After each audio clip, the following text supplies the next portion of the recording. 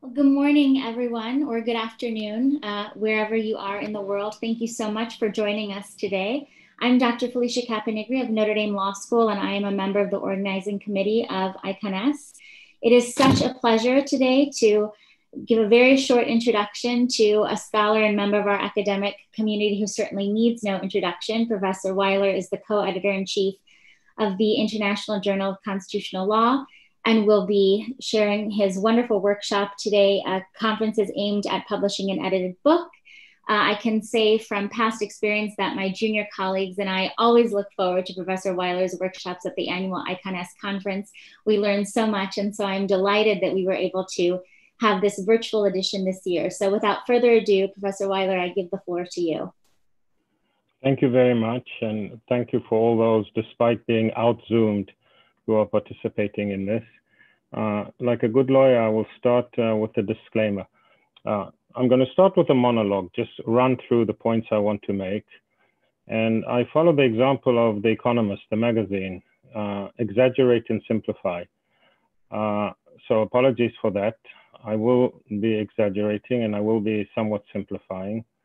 And the other disclaimer is that I will present my views uh, in a very categorical way. This is how I think the right way to do it but uh, I am aware that I'm not infallible. I'm not the Pope yet.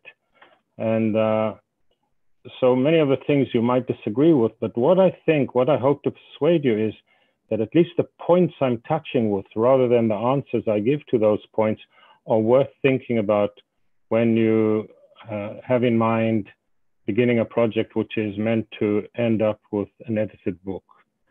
Uh, so the first point is there an awful lot of edited books being published. Uh, there are many reasons for this, but one of the principal reasons is the quantitative pressure that is now imposed on academia by various stakeholders, the state, the universities, the deans, uh, funding, etc., to be productive and to be visible and to show impact. So one of the easiest ways of doing this is to have some kind of conference and invite papers and then come out with an edited book. And in that way, it seems that you are fulfilling all the, those pressures because you are productive, there's an edited book, and you are visible because there's a big conference and people attend and there's a big festa uh, around this but it comes with a price because, and it comes with a price because at the end of the day, I find it self-defeating. Uh, most edited books, in my experience, sink without trace in the sense that they don't leave an impact on the field.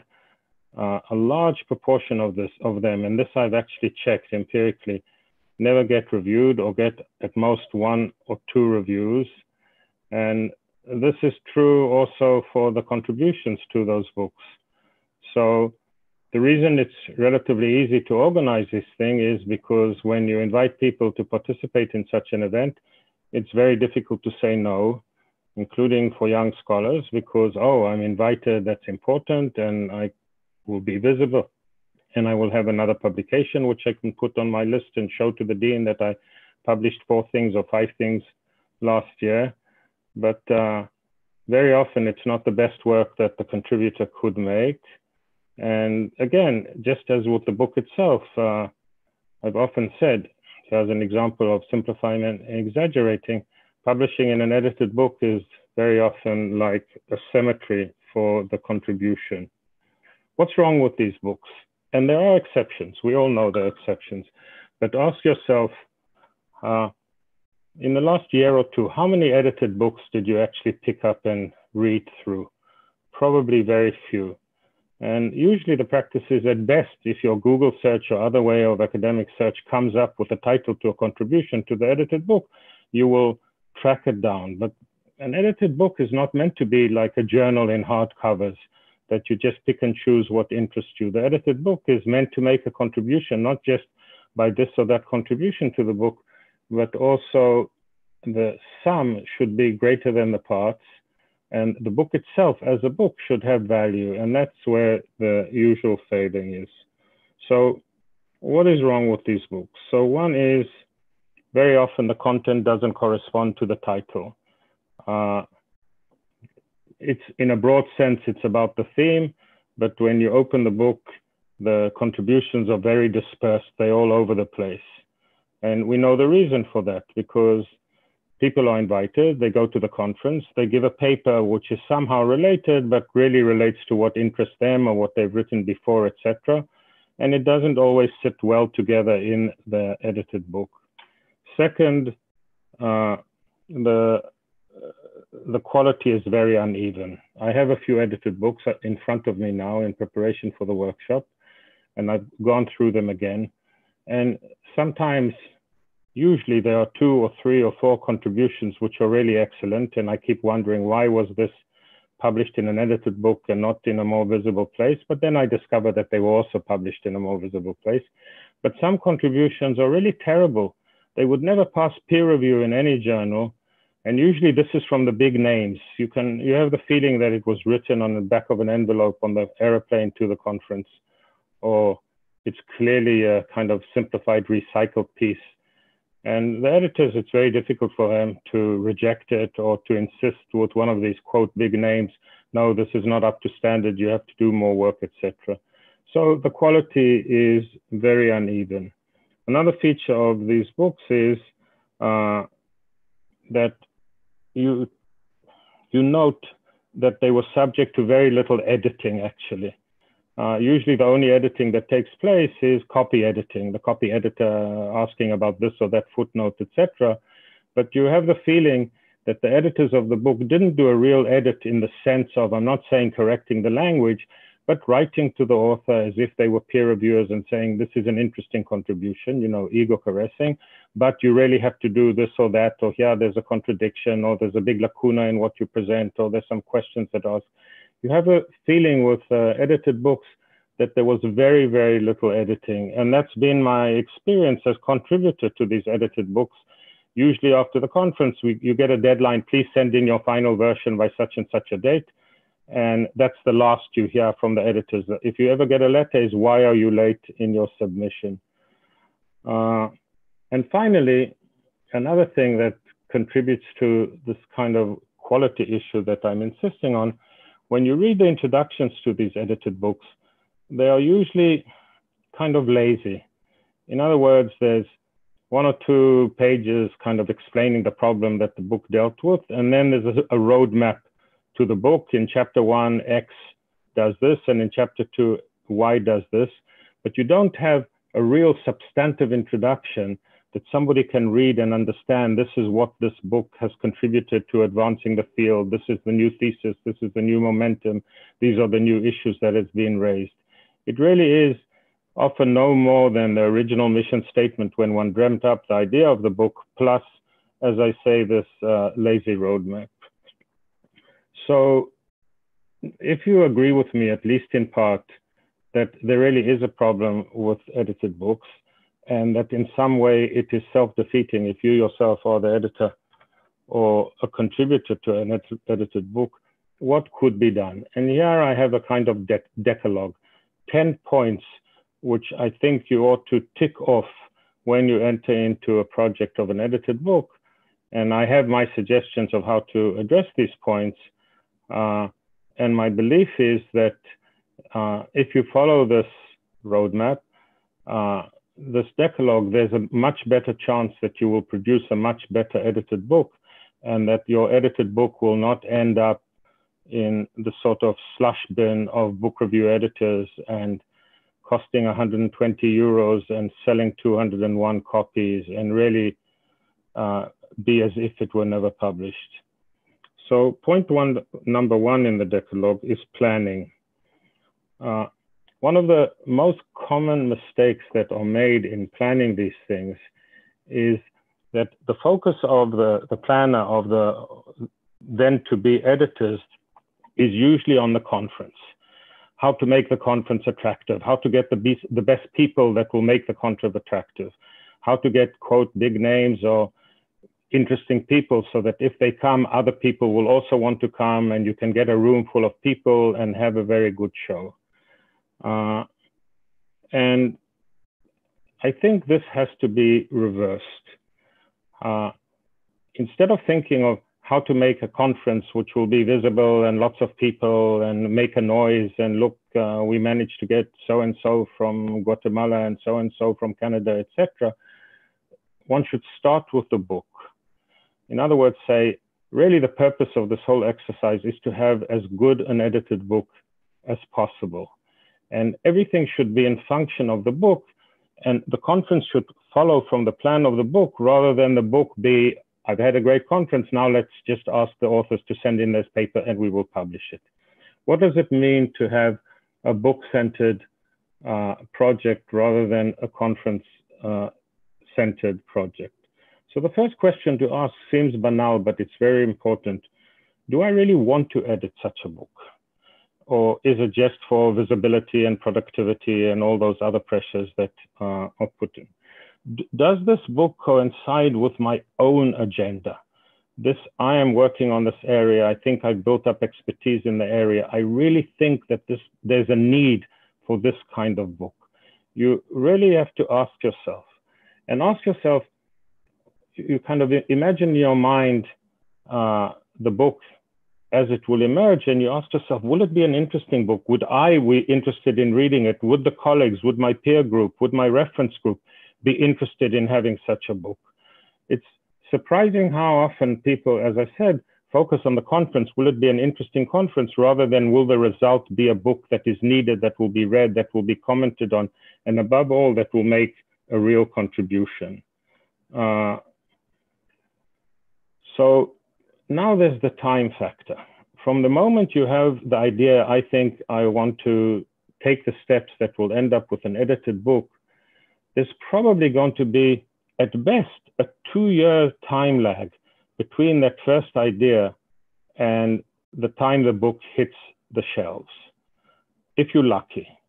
Because there has to be a lead time for preparation of the conference, you have to give people adequate time to write the contribution, etc then you have the conference. Then you wait for people to send in their final drafts. There's always some people like myself who are late in sending in their contribution. And when you all have it in hand, you have to send it to the publisher. And then the production process also takes time. So I think two years from the first idea of the book till the book hitting the shelves is not an exaggeration. It's not a simplification. It's pretty realistic. And then you also have to add the minute the book hits the shelves doesn't mean that it comes to the consciousness of your readership, because then there has to be marketing, there have to be book reviews. So it might be three and sometimes even longer time before the edited book really be- enters into the stream of academic and intellectual discourse. So one of the things to think about is, is this idea that I have now, let's do a book about COVID. Uh, will it be an interesting book when it appears three, three years from now? And given that this is the time lag, and so many books are obsolete already by the moment that they are published, and can I really imagine that this book will have a shelf life of, say, five years? In other words, that it's not just a kind of flash in the pan, but it will really make a contribution and become a reference point for people working in the field so that is also helpful in this first point of the Decalogue in terms of the planning. Uh, and final point on this, on the planning, instead of focusing on the plan for the conference, so who will we invite and what will be the order of the panels, etc., etc. You are familiar with this. Uh, think of the table of contents of the book, and you will see there's a payoff to that, which I will explain in a minute. And first of all, start with imagining the book, and this will be the table of contents of the book. This will be the introduction, chapter one, chapter two, uh, chapter seven, chapter 10, how many chapters you imagine, and try and see really if it all comes together and there will be a book and it will have these chapters and these chapters will be of high quality, the chances is it will be a book, a good book, and then in function of that, you organize your conference, you organize your meeting. So that's point number one. the planning, the ideation, the looking forward, taking into account the time lag, etc. Uh, you also want to think of your readership. Is it a focused readership or horizontal readership? Is it somebody who's interested in third-party intervention in investment arbitration, or is it going to be theories of international law, which anybody doing international law will be interested in reading about theories of international law? Second point, so now it's number two in the Decalogue, what form is the conference to take? And here I just want to give you a dichotomy, the difference between a conference and a workshop. So we, we're not talking at all about these mega conference, ICONS, American Society of International Law, etc. But there are two types of gatherings, to give a neutral term, which result in an editable book. One is a conference where you have a panel, panels of speakers. So you might have 15 speakers or 20 speakers organized around panels, usually over two days, etc. You invite as many people to come. So you might have a room with 50 people, 60 people, maybe even 100 people. So you get all that noise and visibility and photographs on the website of your university and on your own Facebook or whatever. And then the people come, they present their papers. There are Q&A. Usually it's reduced to, oh, because everybody talks more than the time allotted to them. So there's kind of 10 minutes or 15 minutes from Q&A from the floor, and then it's the next paper. So that is one form of a conference, which at the end still ends up with an edited book of the papers presented at the conference. The other one is the workshop. The workshop is a much more minor affair. Uh, and because in the workshop, you might have the contributors to the chapters and maybe a few more people, the group that with whom you are working. So if there are envisaged 10 chapters, you won't have more than 20 people in the room. And it really is a workshop. And let me already lay down my thoughts here. I think it's infinitely better. If you really have a good edited book in mind, you should not go for the conference model. Although at the end of what I say, I will say where the conference could come in. It should really be a workshop. What are the virtues of the, of the workshop? Uh, it makes it a collective enterprise. In other words, it's not just, oh, I'm going to a conference, I'm going to present a paper and then go back to my hotel, return home and plan my next conference, etc. The contributors become part of a collective enterprise. They are invested in the enterprise. Uh, they get much in a workshop, as we I will show in a minute, they get much more, many more substantive comments which can actually improve the paper. They are commenting on the papers of other contributors. In other words, the scientific, academic, intellectual input into each contribution in a workshop is infinitely higher than at all possible if you opt for the first model, which is the conference model. Even the small conference of between 50 and 100 participants. So you lose all that kind of razzmatazz and visibility and all the rest, but you have a much more substantive input and hope uh, for the quality of the edited book. So that's my second point. Conference workshop, I would always opt for a workshop as an editor because I really want a serious input to the papers that will eventually be chapters in my book. The mission statement. Uh, there's a difference between the mission statement you will send to whoever's funding it, whether it's the Dean or the ERC or Horizon 2020 or whatever, wherever you want to raise money for this project, and the mission statement you will send to the contributors. Uh, the mission statement to the funding organization really the emphasis has to be why is this an important problem? Why is this a challenging problem? Why will this be important to discuss? Uh, and convince them in the value, the overall, the meta value of the project. You don't go into details. Now, what I've noticed over the years that very often when I get an invitation to participate in a conference which will lead to an edited book, I get some version of the mission statement that was sent to the dean or the funding agency, etc. And then saying, so now we are planning a conference to develop these ideas. We envisage five or six panels, and would you be willing to contribute to the panel on this theme, on that theme, on another theme? What's the alternative? This is how I think a better mission statement to potential contributors should look like. It could start with the mission statement to the funding agencies or to the dean, whoever you're convincing that this is a good project, because really you make the case why this is important. And the contributors to the book should see why you are thinking it's important, what you have in mind, etc. But then, and this becomes critical, you should have something that says, given that we are planning a book, and this is how we envisage the book. We envisage that there will be part one with three chapters, and you actually give the description of what you would like to see in each chapter. And then there will be a part two, and then there will be a part three. And then you ask your potential contributor, you say, the first thing we want to have from you, do you think this is a good way to organize the different chapters, the different themes that uh, will be presented in the workshop? Because now I'm an assumption that we're going for a workshop and not for a conference. We would like to enjoy your wisdom. Maybe the lacuna, maybe we haven't thought about something. Maybe the way we've defined this chapter or that chapter is not the optimal way. So first of all, you are getting feedback from people whom you turn to who are obviously knowledgeable and creative and thoughtful in the field. And secondly, you're engaging them. You are making this a collective project where people are invested in the project in which they are going to contribute. The second thing is you say to them, we had in mind, based on your previous writing, that you would be an ideal author to contribute to chapter seven. Now, the question, and here you have to be, of course, you write it in a very elegant way. You don't want to unnecessarily bruise egos. Do you think this is the right place for you to make a contribution? Or is there a different chapter that you think you might contribute? So that's why the, uh, you might want to uh, not send all the invitation in one go so that you have a little bit and pick and choose.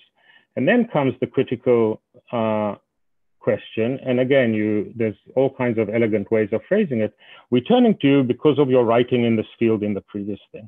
But do you have the time and do you have the wish to move from where you are and to write a really new original contribution that will not simply be, uh, you wouldn't say it in such brutal words, will not simply be a recycled version of what you already published with which the field, our readers are already familiar. And you really have to put them on the spot that somebody has to sit back and think, A, do I really want to do it? Because it's not just going to be a conference where I can go and they stuck with what I present. And then it's too late to say this is not what we had in mind. I really have to be able to tell them with responsibility, yes, I like the plan of the book. Yes, I think this is the right chapter for me. Yes, I'm willing to invest time, research, writing to make an original uh, contribution. So that is my third point in the Decalogue. It's the mission statement to the contributors is very different from the mission statement for which you started the project. You have to get them involved. You have to make it a collective and you have to make sure that they're comfortable with what you're asking them to do, that they have the time to do it, that they're willing to do it. It doesn't always deliver, but it enhances the chances that you will get something that you really want, and the overall quality of the book will be improved. Uh, point number four in the Decalogue is choosing the contributors. So here I'm not going to be categorical. There are different ways of going about it. One is to have a call for papers. A call for papers is you put out the mission statement and you invite people to send in proposals a sort of abstract of 100, 200, 300 words. And then you choose the best ones that come your way. And then you have your workshop. You warn people that not all papers will get in. And uh, you hope that at the end of the day, you will have a good book based on the promise that is presented in the abstracts in the call for papers. I must say, I've tried this several times in the past and in the recent past, it's a double-edged sword because it's very difficult to know from the abstract what eventually we, will be the quality of the writing, etc. But it's one way of going about it. It has the advantage that it's more inclusive, that it's not old boy network, that you might get voices from people that you're not familiar with, from young people, different areas of the world, etc. So it's one approach to take but you have to be ready uh, that not everybody will deliver either exactly what the abstract said or at the quality of academic writing that you expect. So it's good if you go down this route to build in redundancy. In other words, you're imagining 10 chapters, have 20 people come and present. The other approach is just to invite the people based on your knowledge and expertise in the field who are very good people writing. And there, I've already hinted to that once or twice before in speaking, there's really the dilemma. The big names give visibility. You think maybe if people see their names, they will be more inclined to write the book. It will certainly, you think, enhance the prestige of the conference. If you say that Bruce Ackerman is participating, then everybody else will want to participate, uh, etc. But very, very often, the big names, the Pooh-Bah, disappoint. They do what they want. They're not amenable to your comments. Very often, it's just recycling their old set of ideas.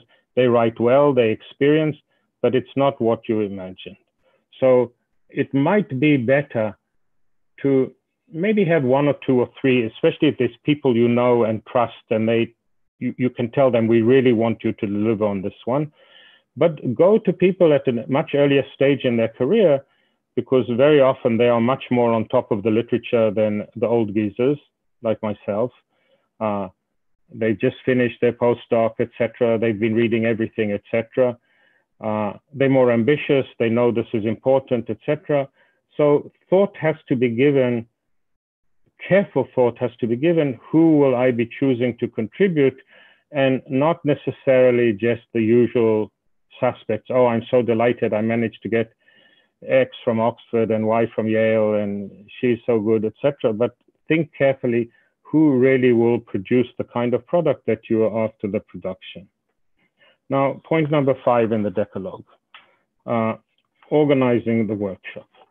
My preference is to absolutely insist with people we don't want the final version of the paper. Because once people send the final version of the paper, they think they're done with, they'll get some comments, they will add a few footnotes, there will be a little bit of cut and paste, you will get but they're not amenable to really radical change, to real improvement. This is what I've presented. That's what happens in one of these big conferences. You tell them what you want to, they come, they present a paper, you're stuck with it.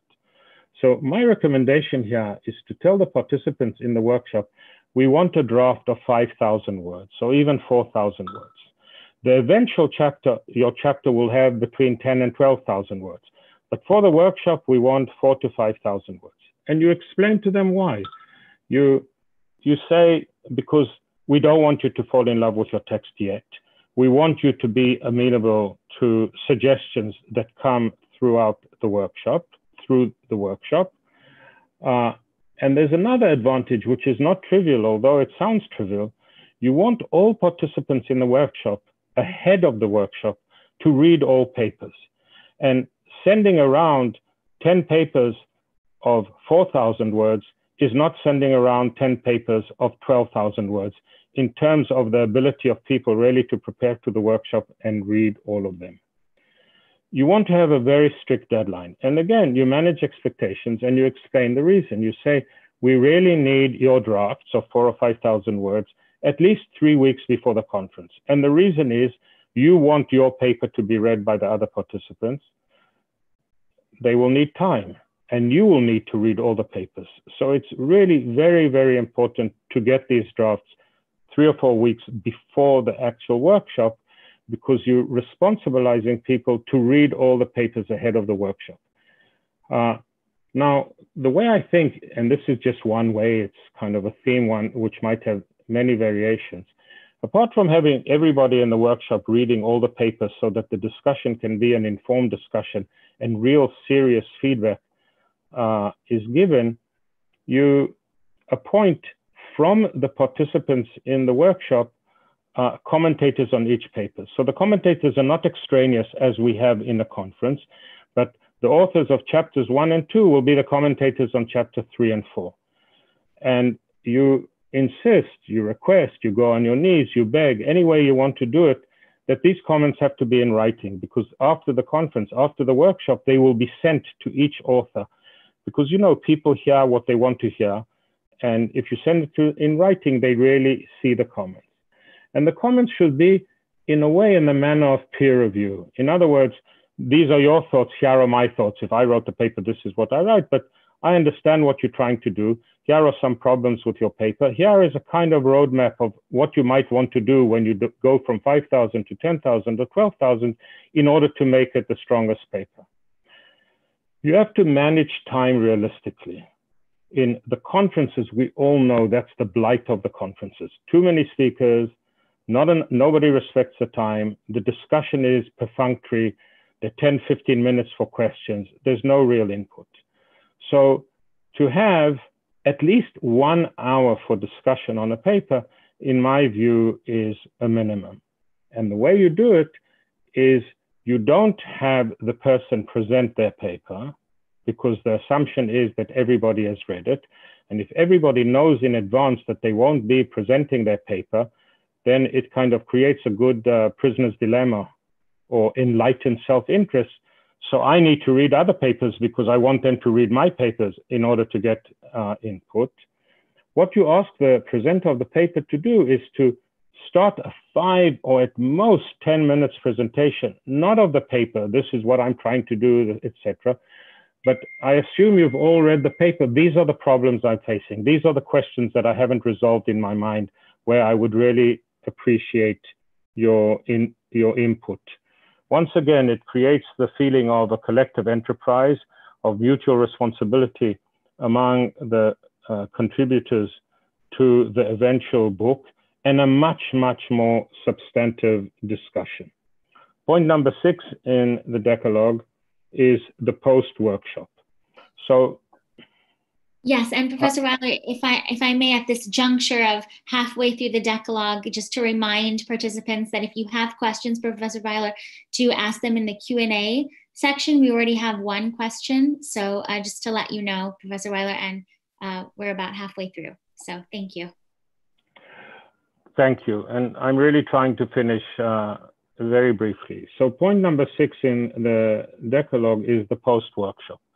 So one of the things you want to do is to have an assistant, maybe a graduate student or whatever, really make a very good summary of all the points that were made in the, in the workshop on each paper. And then you collate these comments and you send to each author, here is a summary of the points and suggestions that were made to your paper during the workshop. So that each author, you can send it to all authors, but it's particularly important that each author gets the written comments from the commentators and gets the summary of the ideas and suggestions that were made during the conference. And then you set a deadline for the first full draft. Again, I think it's important to put people on notice. And here again, it's enlightened self-interest. Once people have done the work, they want their work to appear as soon as possible. So you have to give a realistic time to work from the 5,000 to the 10,000, maybe three months, four months, uh, is not an unreasonable time with the help of the comments you said them, you sent them. And then this is where it's one of the most difficult tasks. You are the editors. When you get the final, uh, this first draft, I don't want to say the final draft, you really have to go through it with a magnifying glass. That's your responsibility. It's your prestige. If the book is a good book, the credit will go to you. If it's a bad book, the demerit will go to you you have to compare the paper. You have to compare the paper with the comments that were sent to see if the author really took them into account. And you might still have new points, etc. So you have to see yourself in a way in the role of an editor of a journal. Okay, this is a good paper, we want it, but there's still a lot that can be done to make it a better paper and not hesitate to send to the author and say, really nice, good effort, but there's still some more work that needs to be done.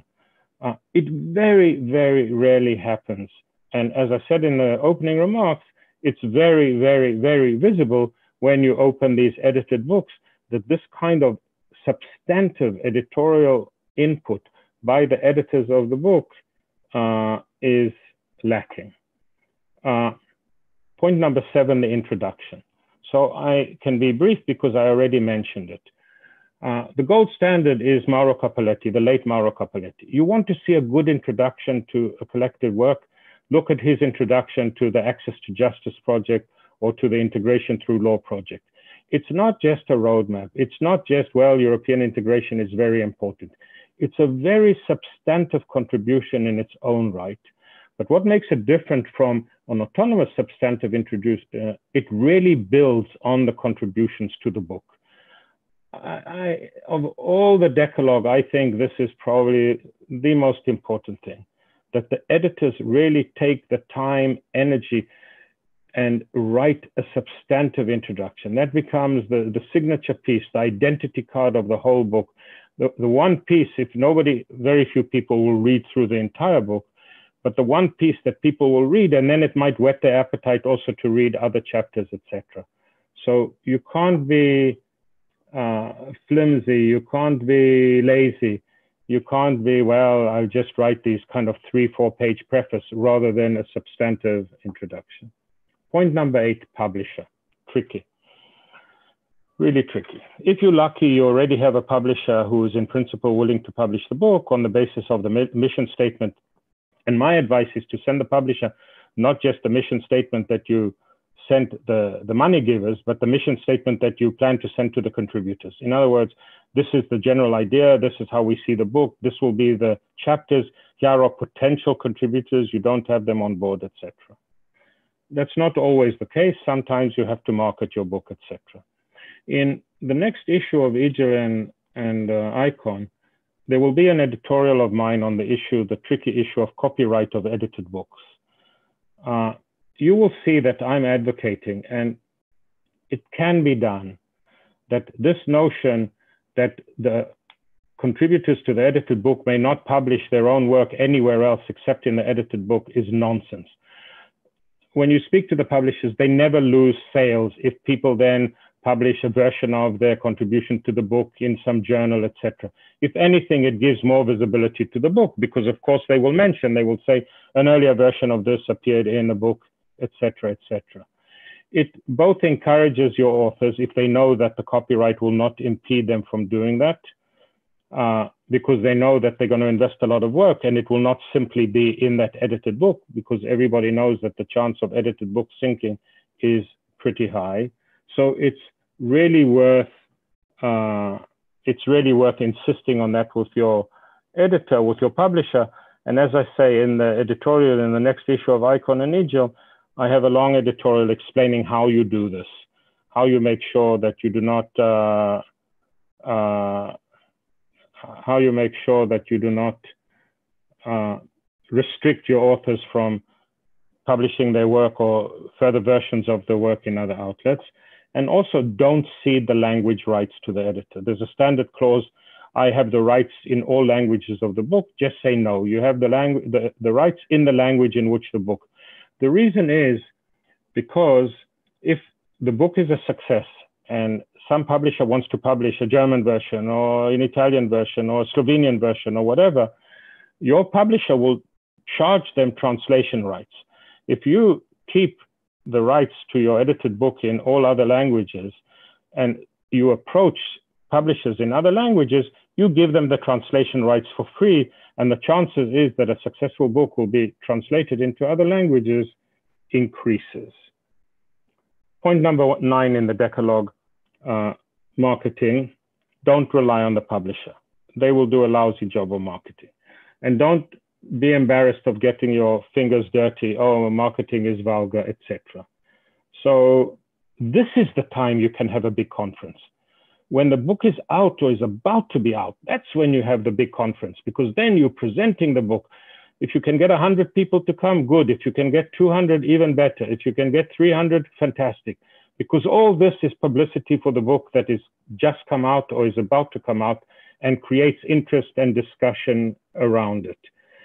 Speak to the contributors to the book. You have 10 contributors. Try and have a book presentation, a workshop on the a book presentation in their institution, in their country, etc. It's not enough. This I learned from John Sexton. It's not enough that it's good. People have to know that it's good. And people will not know that it's good if there's not serious vulgar word marketing. And you, as editor, have to really take charge of the marketing and not just think that the publisher will do it for you because the publisher will not do it for you. Finally, point number 10 is book reviewing. Uh, don't send the book to a book review editor and say, I have this reviewer in mind. It probably kills the chance that the book will be reviewed. But you should not be embarrassed to write a personal letter to the book review editors of the relevant journals and say, I just want to bring to your attention that we have published this book. This is, we think, succinctly, one or two paragraphs, the contribution of the book to the field, and we're hoping that your journal will organize for a book review. You do this, the chances is are greater that it will actually be pack, picked up. If you whet the appetite of the book review editor, so they don't just get the book from the publishers. You know how many books we get every week from publishers, 80% of them being edited book and 20% being monograph? It's a huge amount. So it becomes a lottery. How do you pick from all these books? It what catches the fancy of the book review editor. If you send a nice succinct letter and say, we really think it's an important book. We hope it will be reviewed. You've increased your chances of the book being reviewed. And that, of course, is very important because a well reviewed book will increase the impact, the readership, and all the rest. I promised online or in person. I think if you do the workshop route that I proposed, then a, an online workshop works well. Because if you have 15 people on a Zoom conference, the input can be the same. Everything can be the same as if they are in the room, except they are not in the room. They're seeing each other on the screen. The key is not to have too many people. Uh, the big conference, the kind of webinar thing, for the purposes of the edited book, I think is a dead loss. The only time to do it is once the book is out or is about to be out in what I said is the post publication conference as kind of a marketing device rather than a substantive input into the production uh, into the production of a good uh. And quite frankly, uh, if you have the workshop on Zoom, even without COVID, it saves an awful lot of money. So the last word on the vulgar point money. I think you should, if you have a research fund, if you got a subvention for this project, which is result to a book, one of the best ways to spend that money is publishers to reduce the price of a book. The books that have a chance of not just collecting dust on library shelves, but actually people might buy them and read them, cannot be priced at more than 30 euro. 29.95 is better than 30. And that is subject to negotiation. So if the publisher really believes in the book, they might do it themselves. You should forget royalties. You just negotiate your royalties away and any royalties to the contributors, if they're given, by saying, we're not going to take royalties, we want you to reduce the price of the book. And if you have money to subsidize the book, and in that way to reduce the cost, in my view, it's a good way to use that money. Thank you all. Thank you so much, Professor Weiler. Thank you so much. As, as always, you've also given us a great framework for thinking about uh, this issue and how to produce a great edited uh, book. So we have a, a, number of questions from our audience, which I will begin to pose to you. Uh, so uh, the first question is from Irina Domarath, and she asks about the causes of the decreasing quality of edited volumes. How do we ensure quality without jeopardizing career advancement? So she makes reference to the well known pressure for publishing in order to get tenure and often two to three year employment contracts. So, how do you balance that practical? two to three year you know work with the two years or more that you mention as part of the planning for an edited uh, volume so you might think that my answer is facetious, but it's not facetious. So advice number one, if you're a young scholar at the beginning of your career, don't do an edited book. It will take an awful lot of energy and time. It's always a zero sum game. There's an opportunity cost. You're working on the conference, you're working on the workshop, the organization, writing to authors, etc.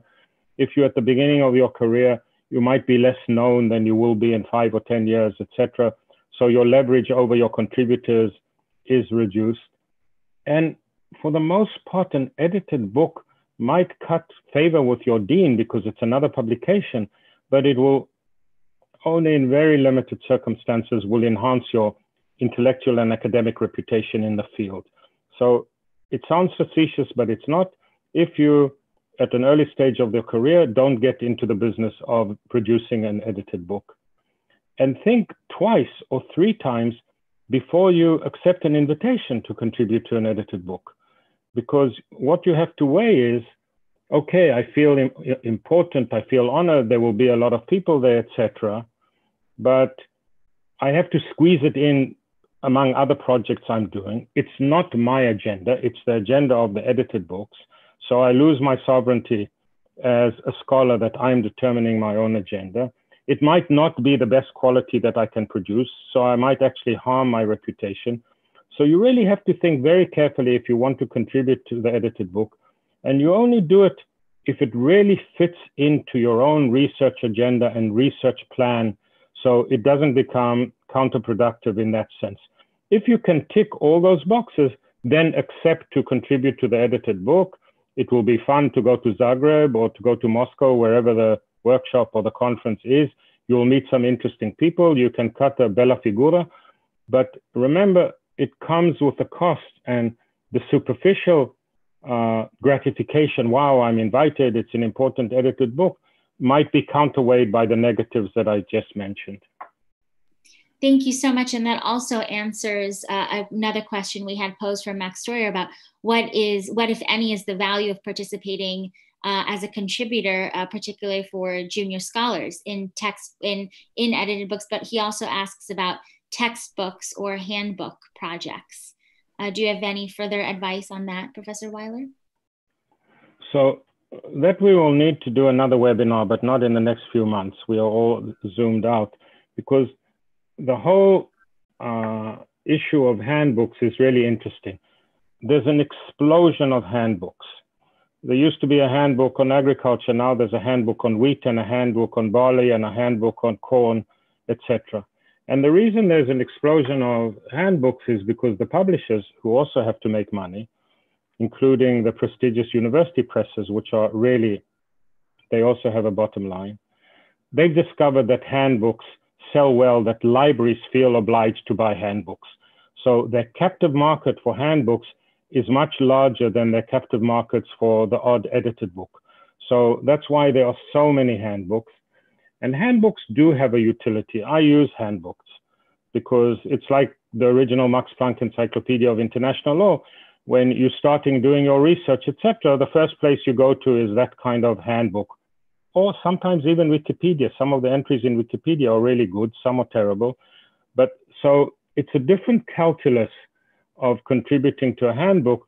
I would say that I would be more inclined in advice to younger scholars to contribute to a handbook than to contribute to an odd edited book, unless, as I said in my previous answer, the contribution that you're asked to make to the edited book really sits well with something that you would be interested in wanting to do, and you could produce it.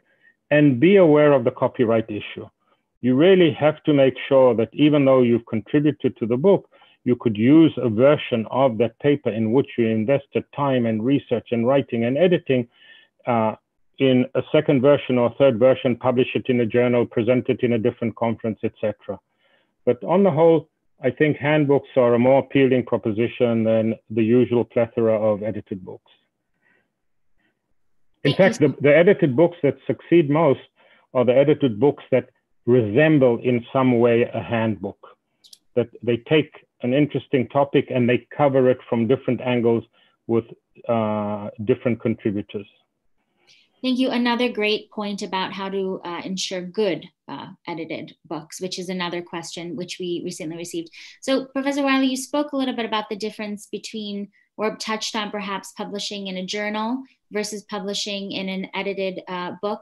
And a few of our questions have touched on uh, how do you decide whether to go for a quality edited book project or a journal special issue project. So perhaps you might elaborate a little bit more on the differences for our audience. Uh, I think that on the whole, journals are more visible. So probably your piece will appear earlier. and there's a better chance, especially if it's a quality journal. Uh, uh, I have to be careful here not to be glib or self-advertising, but the metric that we look at most at ICON and EJIL uh, are not so much impact factor, which is a very misleading metric, although we do very well there too, uh, but the number of downloads, uh, not visits, but actual somebody downloading a PDF. And they are numbered in the thousands. Now, it's like in the old days, you could photocopy something and never read it. You just, once I photocopied, somehow I've done something. But there's a chance that if there are thousands of downloads, more people are actually looking at the pieces in the journal. So I think journal articles have more immediate and a broader impact than an editor book. I'm sure that more people see the table of contents and download PDFs uh, from journals than they do from edited books. The counterweight is that a good edited book which rises, and my hope is that if one follows at least some of the advice, or at least thinks in the direction that I've been presenting, there's a chance that your edited book or the edited book to which you contributed would rise, they have a much longer shelf life. So there are very few articles that really get remembered, etc. But a good book which is on the shelf will be consulted and people will take it off the shelf and will look into it, etc. Years later, then is the case with articles, except with a very few articles which become famous or notorious, uh, etc. So that's the kind of calculus that you, you have to make. There's no magic formula. I don't have an algorithm for that, but that's the way you want to think about it. The best is, of course, the best of the, both worlds, and I'm not hesitating to say that you publish in an edited book and then a second version of the article. That's why the copyright issue is so important. You publish a second version, a more developed version of your piece in some journal. As long as you're transparent, as long as the editor of the journal knows that this is a revised version of something that is about to appear or has appeared, then, and I'm sure the editors of the book would not mind you because that we've really researched and we've argued with the publishers and we won that argument. It really does not, it's the fact that contributions to an edited book are subsequently published in journal articles, etc., does not reduce the sales of the book. If anything, it enhances the sales of the book. So those are the parameters you want to play with. But as I say, I have no algorithm. Thank you. Now we have two groups of questions, Professor Weiler, that have come in one about young scholars and then the other about some practicalities related to the edited volume. So I'll pose the ones regarding young scholars first. Um, the first is obviously uh, that you know one of our attendees narissa ramsundar notes that you know young scholars face may face pressure to convene conferences and put forward collected editions to meet department mandates. So, how might you advise those young scholars? And on a related point, um, Toon Moonen asks, well, many um, colleagues often organize a workshop and an accompanying edited volume together with their PhD students, focusing specifically on the PhD students' research. So, is that a good strategy? So, both questions related to junior scholars and, and young scholars. I don't want to kind of sign sound highfalutin idealist, etc. I'm very pragmatic and I'm very aware of the pressures that are put on young scholars today, which were not put on young scholars when I was a young scholar many, many decades ago. Uh, so one has to be practical. Uh, so, for example, I used to tell, uh, both in directing the PhD program at Harvard Law School and uh, more recently at NYU, I used to say to our PhD students, resist the temptation of writing articles while you're writing your PhD because your PhD is your identity card. And any article you write will rob you of between four and six months from your PhD. And again, it's there's an opportunity cost. Less time on the PhD, it will not be as good as it is. I've changed my advice because I know today, yes, because I know today you can't even get a postdoc if all you have to show is the PhD they, to get a postdoc, you have to show a PhD plus some publications. So that's just to show that I, am aware of the pressures and one has to take them into account. If there is departmental pressure to do an edited book, I think the workshop and I will be publishing the advice I gave in a uh, future editorial of Icon and EJIL, how to organize a good workshop. So you also have it in writing. I think I tried to give a roadmap of how, if you go, if there's pressure from the department, because my basic thing was avoid it.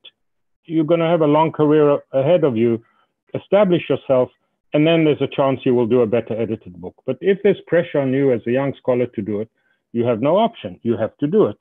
So I'm hoping the advice I gave will maximize the chances of a good edited book because at the end of the day, and I stand on this not as an idealist, but really pragmatic. Uh, I, I've sat on so many appointments committees and written references or asked advice from faculty in the process of giving tenure or promotion, etc. At the end of the day, quality trumps quantity. If you think who are the scholars in your field which you respect most, it will not be the people who have published 150 articles. It will be the two or three articles or the one book you've read from that scholar that your jaw dropped and you said, this is a fantastic article. This is really an impressive scholar, etc. And you want to be in that group. If you just put out in different work, satisfying the, the quota, in different edited books, at the end of the day, it will come back to bite you. Because when people do look at it, they will say, hmm, is that all he or she can do? So it's between uh, whatever, the hammer and the anvil, etc. And I try to show a way today, if you are forced as a young scholar to do an edited book, although my advice is not only to a young scholar, also to established scholar, that was the way, in my view, that you can maximize uh, ensure. I think, forget the PhD students. You're not doing them a favor. You're taking them away from the PhD, etc. If you want to work with younger scholars, work with postdocs. Postdocs already have their PhD behind them. There's not the time pressure to finish in time, etc. If they're lucky, their PhD is now being processed into a book it's people in the postdoc stage of their uh, emerging career that are very, very good contributors to edited books because they've just finished a PhD. They've read everything there is to read if they did a good job uh, in the field.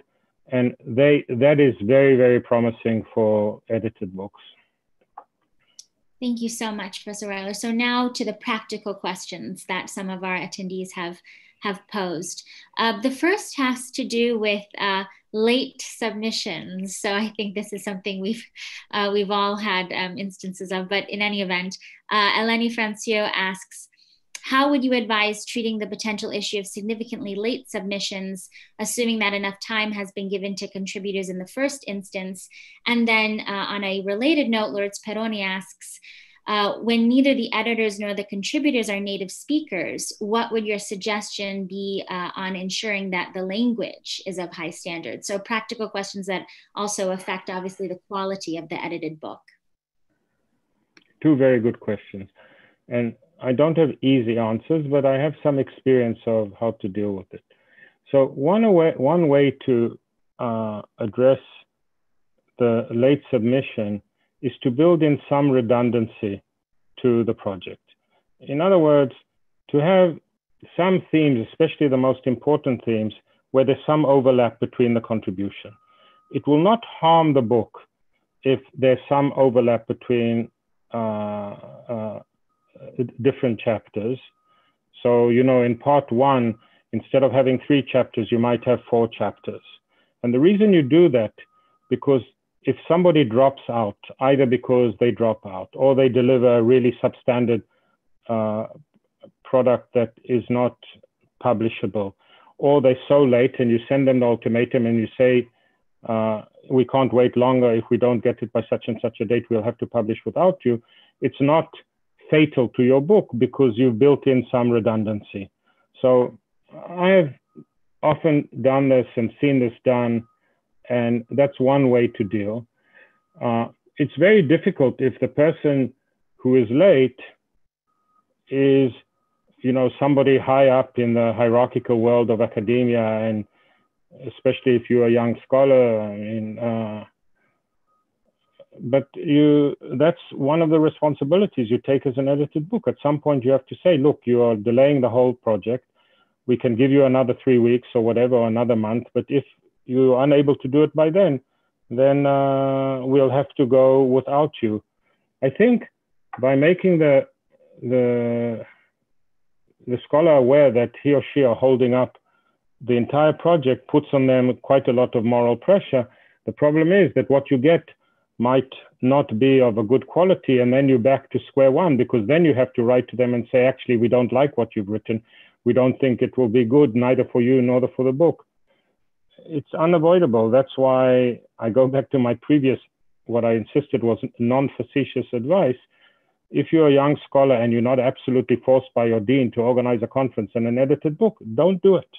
Wait till you are more established in the field where you have the gravitas and the authority to be able to write in the manner that this kind of unacceptable delay creates. I must also confess that I have been in that position. Sometimes I've let editors down because I just was unable to deliver on time. Uh, it's quite horrible also as a contributor, but sometimes that happens. So that's uh, the redundancy. On the language,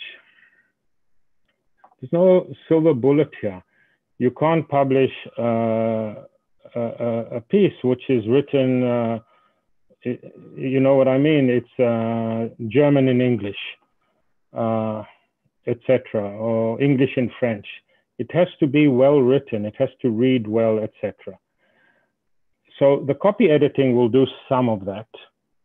But when you plan, when you're budgeting your project, you might want to budget for people, native speakers who will be language revisers. Uh, otherwise, you just, that's what we do in the journals. That's what we do in Icon and EJIL. We don't do that kind of language revision. We write to the author and say, we like the content. It's a good article, but it's not well written in English. It's your responsibility to find a native speaker to go over it and put it into decent English or decent French or decent German or whatever the language might be. So again, no silver bullet, but that's the only way to deal with it. It doesn't pay anybody to publish a piece which might even in content be good, but is written in horrible language. You will always get a nasty comment by the book reviewer. Yes, thank excellent point. Thank you, Professor Weiler. Um, now, the, our next two questions have to do with not necessarily the edited book, but with a complementary, I would say, um, publications. So the first uh, is, can you share some comments regarding the planning of Festschrift, so collections in honor of, of a scholar? And then the second one has to harkens back to your comments about the handbook how broad or deep should a law handbook be and historical and comparative and theoretical etc uh, or should it be more focused so broad or, or narrow uh, for a handbook so I, I really don't want to answer the handbook uh, because i haven't had enough time to think about it and I, I will be thinking about it and writing about it sometime in the future so what i will say here will just be off the cuff and not really meditated and metabolized thoughts about handbooks. On Festschrift, so once again, in the very next issue of Icon and EJIL, there will be a piece by me about Festschriften. And the basic advice is, if you are the person honored, say no. It's basically, it's a waste of time. Uh, except maybe in the German speaking world, people don't read Festschriften. They just honorific uh, doorstops. Uh, when you get an invitation to write to a Festschrift, you, you just say, oh my God, how am I going to get out of this without offending the honoree, etc. Very, very few Festschriften rise, even less than your normal edited book. Uh, so here my advice is categorical. You might not agree, but it's mostly addressed to the people in whose honor the Festschrift is written because there's this conceit that it's a secret, they don't know, etc. Most of the time they do know. And it's worthwhile knowing because if you're going to issue invitations, you don't want to forget somebody that the honoree would really like to have invited, etc. But the advice is just say no to Festschriften. It's just, it used to be that it was a rare occasion. Really, very few people in the past, if you look 50 years ago, 60 years ago, would get a Festschrift, especially outside the German speaking. Now, everybody reaches the age of 65, they feel insulted if there's no Festschrift. Get rid of that, get over it. Uh, it's not worth the trouble. And if you're invited to contribute, unless this is your own professor or somebody with whom you have a personal relationship, and they will be uh, insulted if you didn't contribute it. How could it be that you didn't contribute to my Festschrift? I would say, even more than with edited books, just say no. Let's try and stamp out this horrible practice of uh, Festschriften. I don't think you will take it as bragging, but you know, I'm scratching 70. So of course, several friends, students, etc., said we want to do a Festschrift for you, and I just wrote back and said, please, please don't. Let's have a nice party, but don't do a Festschrift. It's Thank you. Direct and, and needed advice at times, Professor Weiler. Thank you. Well, if uh, may I ask the audience if there are any uh, further further questions? Uh, oh, one more practical question, Professor Weiler. Uh, so, oh, is, is it a good idea to keep your contributors updated on the stage of the publication? So how do you boost the enterprise model of the edited uh, book? So you spoke a lot about having you know all the contributors feel invested in um, the final product. So how is it that you uh, balance, if you will, this need to keep every this desire to keep uh, everyone informed and invested, and yet really uh, you know, can allow the, the edited book to, to move along at a, at a uh, good pace? The question is the answer.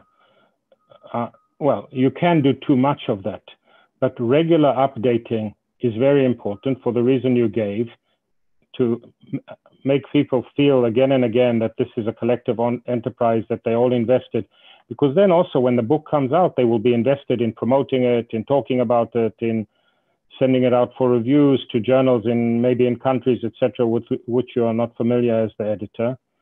But also, it's a not so subtle way of saying, so far we've received six of the nine contributions. So the three that have not sent, it's kind of not so subtle pressure on them. Hey, note, you don't have to really mention names. Hey, note that uh, you are the ones that are holding up the book. So I think regular updating of where the project stands, what's happening, etc., is a very good advice. Excellent. Um, well, do may I ask, are there any? Oh, there is. Oh, that we're so we're um, many attendees, Professor Weiler. I thanking you so much for the informative talk and for the great information you've provided. So, uh, if I just may ask the audience if there are any other uh, questions, if you have them, please type them in the in the Q and A. And while we wait, while yeah. we're waiting for that, I have to. This this event is organized by ICONS, and I suppose that most of the people participating are members of uh, of ICONS. And you all know that because of COVID, we had to uh, postpone for one year our conference in Wrocław, which we had the highest number of registrants. There were 1,200 people who passed their credit card and registered to come to Wrocław.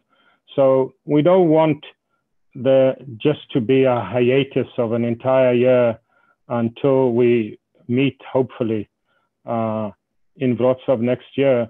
So ICONS, the, uh, the presidents and secretary general, etc., have asked me, and I do this really willingness.